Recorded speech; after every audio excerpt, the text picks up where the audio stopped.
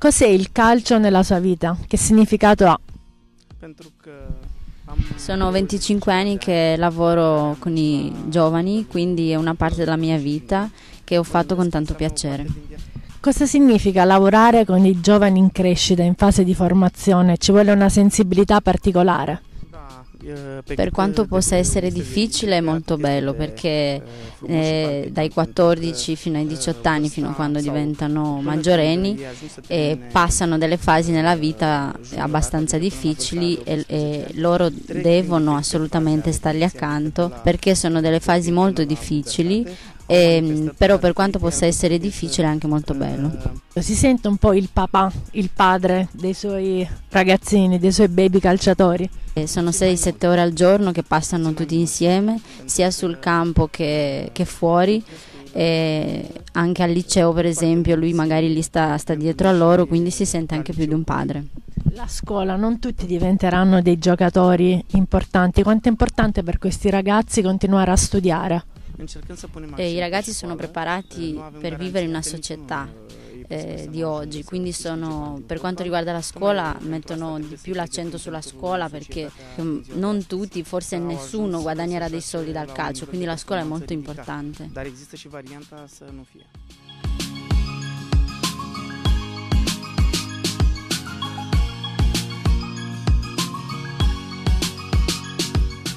Rapporto con i genitori c'è pressione perché tutti li vedono dei futuri campioni. È molto difficile la, la relazione con i genitori, però per quanto insomma, possa essere difficile, tutto lo staff eh, sono molto mm, uniti e legati con i genitori perché mm, eh, siccome loro usano tra virgolette il figlio, hanno, i genitori hanno bisogno di spiegazioni per quello che fanno, quindi insomma pensano di essere dei mediatori tra, tra il genitore e il club. Insomma. Dal punto di vista tattico, qual è il suo modulo preferito? Un allenatore che gli piace tantissimo il gioco con la palla e lui sta cercando tanto di, di fare il possesso palla. Com'è organizzata la vostra settimana tipo di lavoro, il vostro schema settimanale? Il secondo giorno dopo la partita come tutti hanno libero, poi tutti i giorni c'hanno allenamenti e in base a, alla squadra che devono affrontare fanno dei, degli schemi tattici. A questo livello è importante lavorare bene sul campo, sul possesso palla dal punto di vista tattico, però è anche importante divertirsi, continuare a divertirsi. Nonostante questo, quali sono i vostri obiettivi stagionali? È importante divertirsi e loro si divertono, si divertono giocando e in questo anche, sta anche all'allenatore farli divertire e, e farli venire all'allenamento divertendosi.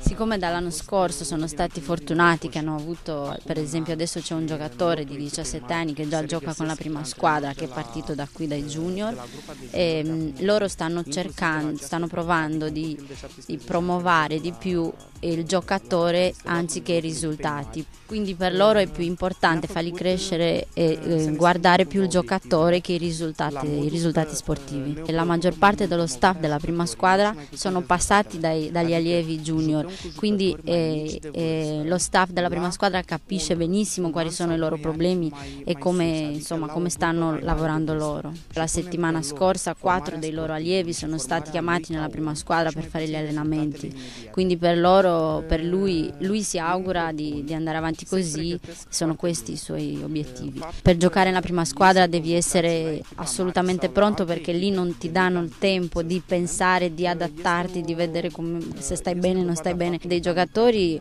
eh, bravi, però non pensa di averne uno adesso che possa fare il salto nella prima squadra. Un, due classe 97 sono già stati iscritti, ha fatto anche eh, la Coppa UEFA, e quindi due di loro insomma sono più bravi.